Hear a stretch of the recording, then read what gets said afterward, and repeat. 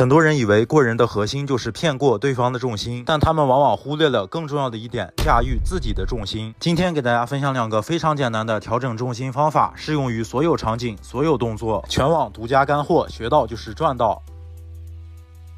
调整重心的第一个方法就是让上半身倾斜，第二个方法就是朝反方向落脚。简单解释一下，比如我要做一个身后 V 字拉球，首先上半身要往下一步启动的方向微微倾斜，其次触球脚在推球之后要快速回落。大家可以感受一下，在这个状态时，身体会自然朝这个方向倒下，这样就可以利用自身的重力完成加速。如果我的脚在推球后没有回落，而是跟着球一起往前走，这个状态我是可以站稳。的也就不利于下一步启动加速。以上两个方法既适用于所有场景，包括启动、变向、急停，还适用于所有动作，比如踩单车、V 字拉球、反弹步法。下面讲解具体场景下如何应用这两种方法。首先，我们的原则就是重心提前往下一步要去的方向移动。在启动时，首先上半身微微前压，其次迈步时脚要尽量回落到髋关节投影点之后，这样才能制造身体向前的倾斜。如果直接甩小腿迈大步，落脚点在身前，身体就是竖直稳定的，很难向前加速。在急停时，首先上半身要后仰，其次脚要尽量往前迈，来制造身体向后的倾斜，利用重力快速完成制动。在变向时，首先上半身可以提前偏向下一步要去的方向，但是落脚有两种情况，第一种是支撑脚先往前迈，制造身体的倾斜，然后再变向；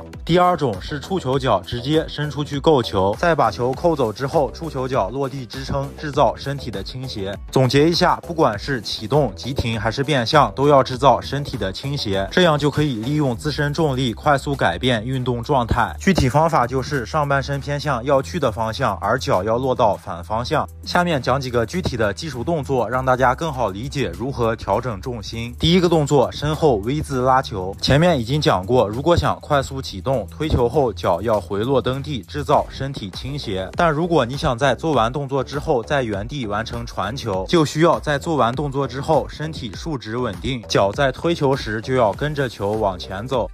第二个动作踩单车，如果在跨球之后脚落到身前，身体就处于稳定状态，不容易加速；而如果在跨球之后脚往回踩，身体就会自然的前倾，有利于加速。第三个动作，内马尔和三山勋的反弹步法。如果在做踏步虚晃假动作时，身体重心也完全移动到这一侧，那么在下一步蹬地时，落脚点一定在身前，不利于我们启动。而如果在跨步时直接蹬地，把身体送出去，那么在启动时落脚点就可以在身体之后，可以快速启动。那么以上就是今天视频的全部内容，我们下期再见。